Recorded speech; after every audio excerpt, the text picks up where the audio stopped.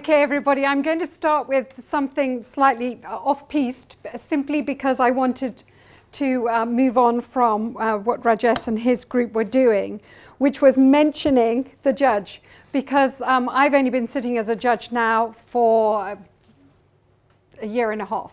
So I'm talking to you really as a barrister, which I was for 27 years, uh, and a trial barrister, a trial lawyer almost completely. Uh, but uh, now that I'm sitting as a judge, um, I am doing an awful lot of trial law, but in order to just have a little bit of diversity, I'm doing the odd civil matter, um, which is a learning curve for me. So I wanted to just go to what was mentioned, which is that we've been focusing upon questions and answers in submission advocacy. I'm going to talk to you, in fact, about trial advocacy, questions and answers with experts, questions and answers with witnesses, totally different exercise. But I wanted to talk about questions and answers from the bench. And I want to support what has been said. If the bench asks a question, it wants the answer. It do not, does not want a total fudge back. It does not want bullshit. It, they have, I hope, read the papers, and so a direct answer back is the only way forward because I doubt very much that there are very, very many judges that I know who would let you get away with sticking it in your back pocket and coming back to it later. So if you have to stick it in your back pocket because you haven't thought about it, because it's come from left field, say so. That's the way to deal with it. You say, I'm terribly sorry, my lady, my lord, your honour, sir. I'm terribly sorry. I haven't actually got an answer for you for that at the moment, but I will come back to you on it. Please may I move on. Honesty will get you everywhere. Being shifty will get you nowhere and you will lose credibility. So can I just say that? I put that marker down for everybody, that uh, we can tell. It's in the eyes every single time. And we have this incredible, it's something that's occurred to me since sitting. It's a totally different feeling. I was in trial for 27 years. The courtroom is my home. I'm very, very comfortable in a courtroom. And the minute I sat on the bench, it was as, as if I was in a goldfish bowl. I felt like everybody's eyes were on me. I felt like I couldn't breathe most of the time. Uh, I think everybody's eyes most probably are still on me because I'm the person that has to make the decision most of the time. But the point is that what you think the communication should be shifts when you become the person being communicated with. It shifts significantly. And so what I'm going to try and get over to you today is that difference in the, in, in the communication. And I'm not going to do the one-on-one. -on -one. I want to make a point about the triangle of communication, which is the person who is asking questions in civil trials or criminal trials of a witness. Because what is important for you to understand is this, that although you are asking a question of the witness, you are communicating something quite different to the judge. You are telling the judge, here I am on my roadmap, judge, the style of my questioning, the chronology of my questioning is telling you what my roadmap is, because I haven't necessarily had the opportunity to tell you, especially if you're defense counsel. These questions, judge, have neon lights on for you. They are telling you where I am going. And in fact, especially as defense counsel, when you're cross-examining, you don't really give a stuff what the answer is because the witness is never going to give you the answer you want if you're defense counsel. Are they? It's very unlikely they're going to go, it's a fair cop gov, I'm sorry, I did it. So what you are doing is saying, here you are, judge, here are my building blocks. This is where I'm going with my ultimate submission. And it's important for you to understand that because just as anybody that's ever been an advocate and had to be on their feet, and we go back to the thinking on your feet the whole time, what I'm doing as an advocate is I know where I want to go, I know what I want to get out of my witness, and I'm starting on that roadmap. And I'm putting all the right signposts up because I'm trying to take the witness with me where I'm going. At the same time, I'm only half listening to the answer because I'm saying to myself, am I going to get the answer I want What is my next question? Is it the question I thought it was going to be? Is it going to be a different question? Has the judge written down what the answer is? If I've got a jury, is the jury actually paying attention to what the answer is? All of that is going on, even although all I've done is ask a question so far. Then I'm going to wait for the answer to come back whilst at the same time, of course, making a note of my question and making a note of the answer, because otherwise I'm going to come up unstuck later. And then I've got to go to the next question. So there's a lot going on in your head at that time, because most of the time you haven't had the opportunity to settle into your witness. You don't know how this witness is going to take to you. If you've had an expert witness, which I'll come to in a minute, that's fine. You've got your language and your rapport going. But with a lay witness, he's a completely new creature. And you may think, I'm asking a very simple question that is a, there's a fairly obvious answer to. I either have an affidavit or a witness statement, which has it written down there. And he signed it. So he must be able to give me this answer. And he doesn't. And I've had that happen quite often. All right, he doesn't. So already you're having to change what you thought was going to be your relationship with the witness in order to just get out of that witness the case that you want to establish your case, which now is starting to be a bit, little bit of an uphill battle, whereas you thought this was going to be a done deal, whilst at the same time you're talking to the judge about the law and the facts mingled into it and establishing your case. So there are difficulties even with a lay witness as how you go about being an advocate and how you manage to change that stance. So we go back again to tone, pace, um, volubility, all of those things. Some witnesses who are very timid need you to start fairly timid. You need to be assertive. You need to show them you're in control and will take care of them if they're your witness. But you have to start, perhaps, in a style that doesn't suit you in order to start to create that rapport.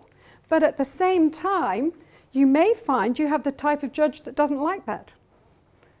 There are a number of judges some people here will have definitely seen them. There are a number of judges where you start asking a question and the judge is all, all the time going, and move on, move on, I've got that point, move on, yes?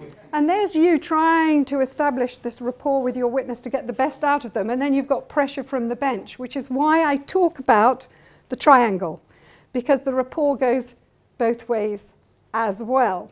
And you've got to create the balance between the two in order to establish that rapport. At the same time as, and again the young practitioners will know, being terrified. being absolutely terrified because you're on your feet and you know everybody is looking at you and especially the judge who might have a bad reputation for being really snotty with people. So a tip that I try to give people, and it's very hard, is you can never be too slow. Ever take your time. Because if you take your time, you take control back of what your performance is. And you take control back from the judge. Hate to say this, don't use this against me. you should be in control. I'm a great believer of this as a barrister. It's when you're on your feet, that court is yours, not the judge's. The judge will give it to you if you are prepared, if you have the right legal ease, if you present your case like you know what you're doing, the judge will give you their court. They will allow you the, to run the case as you want it to be run. If you shuffle, if you are timid, if your head is down, if the papers are all over the place and the judge can see everything, yes, then the judge won't give you the court. You won't even have got on your feet before the judge is taking it back and saying, This is my court and I'm going to do it my way now because you've already lost me. I don't trust you anymore. So you can see that even from the beginning, before you ask a question, you've created a relationship, a positive or negative relationship with your bench. So it's very important. I, it goes without saying, everybody, I'm sure people were saying this morning, preparation is everything. Absolutely. You can never, ever, ever be too prepared. But if you are prepared, it shows. It shows outwardly and it shows inwardly because you know, I don't care what she's going to ask me. I know the answer. It shouldn't be, don't worry about that young man. I didn't know the answer, I'll come back to it later. It should be, I knew the answer. I might need some time to gather my thoughts while I think about how I'm going to verbalize that answer so it's effective, but I prepared so I know what the answer is. So it's, it's inside and outside, and the whole thing is a presentation that you need to instill into students. And the, the inside bit comes from the presentation. It also comes from what Rajesh said, which is really important, allowing them, trust, trusting themselves to use their instincts. We can't, even after 30 years, know all the law.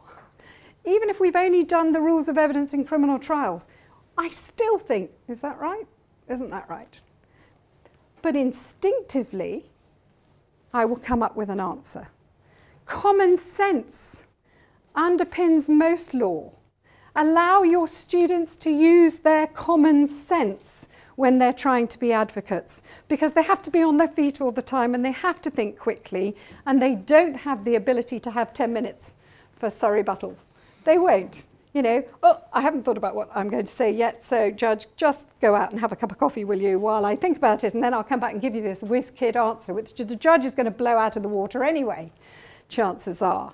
So that sort of thing needs to be thought about for them, how you instill into them a degree of confidence within their abilities to begin with, because it will grow, won't it?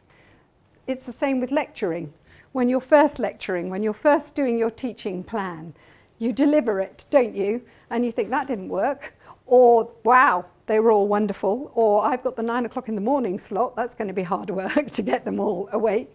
Or you've got the late night one, and you change how you deliver it. You change your pace. And I want to go back to pace.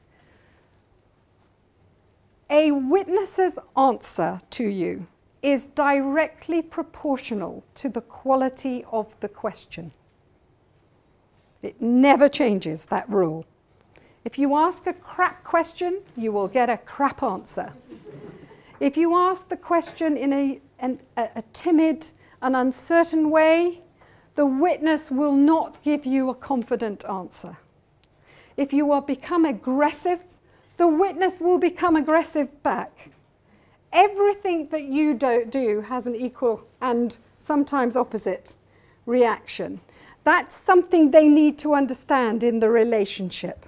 It isn't just, have I written down 300 questions here, which is what all the Hong Kong students do, everybody. All right? They have a whole list and they start at the beginning and they ask the questions and they don't listen to the answer. And then they go on to the next question and they think they've done a wonderful job. Yes? So yes, rule number two, listen to the answer first before you move on to the second question. But they do need to create a relationship. If you create a relationship with a witness, just as if you create a relationship with your colleagues, you get on better with them, don't you? That you're more likely to say, can I have some funding for something, and get them to at least listen to you about the funding, than if they think you're a, an idiot and they don't want to give you any funding for anything. It's the same thing. A witness won't open up. And so you will have heard a number of times, anybody that's in teaching of advocacy, that cross-examination is not cross-examination. If you are cross with a witness, that witness is definitely not giving you any information. But if you are charming with a witness, then the witness might, maybe once in your career, give you the answer that you want. But if you are charming with a judge, you will almost always, at least, get, they will listen to you. Charm will get you in an awful lot of places. If you are just pleasant and professional and listen to the judge and answer the judge charmingly with charm, then the judge may listen to the rubbish answer you give them. All right?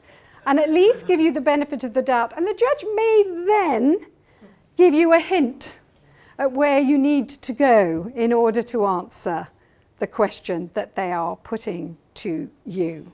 And can I say this? Because certainly when I was on the other side of the bench, I always thought when a judge asked me a question, they were playing with me.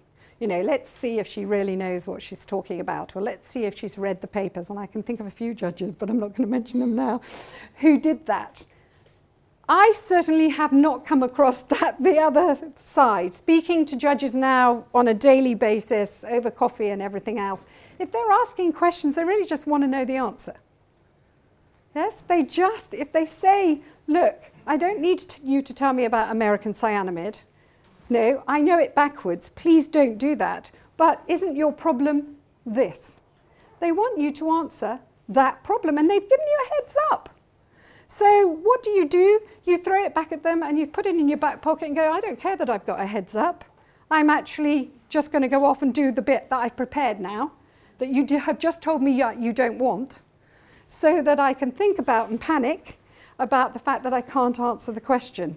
You know, if going back to what I said at the beginning, if you can't answer the question, if it's that bad and it's that important, say, I'm terribly sorry, please would you give me five minutes to take instructions now?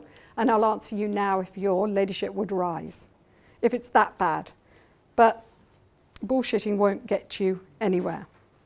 So I'm sorry, I'm going back to the witness and the advocate and questions and answers in court and what your students should be looking to do. We've talked about the fact that you have to establish rapport. We've talked about the fact that you have to let the judge know what your road map is. That is a different piece of communication. If you happen to be, but it might be a little way down the line, happen to have a jury there as well, you've got to be keeping a weather eye on the jury. But going back to rebuttal and surrebuttal, when you're establishing your questions with witnesses, you have to also think about what your opposition is going to ask. And you should be saying to yourself, shall I take the wind out of their sails? And I'll ask it anyway, because at least then I've got my first bite of the cherry of seeing if I can resolve whatever problem comes out. They're going to pick it up and run with it, but then I get to re-X. So, I've got, so I'm looking to the judge as if I'm not scared of this point. And that's quite a good tactic in some situations. Obviously, there are other situations where you could say to yourself, my opponent's a bit of an idiot, so if I keep quiet, he's never going to think of it, and I'm, that way the point will never come up. It's another thing, isn't it, about thinking on your feet.